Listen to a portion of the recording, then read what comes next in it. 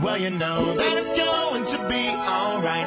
I think it's gonna be alright. Everything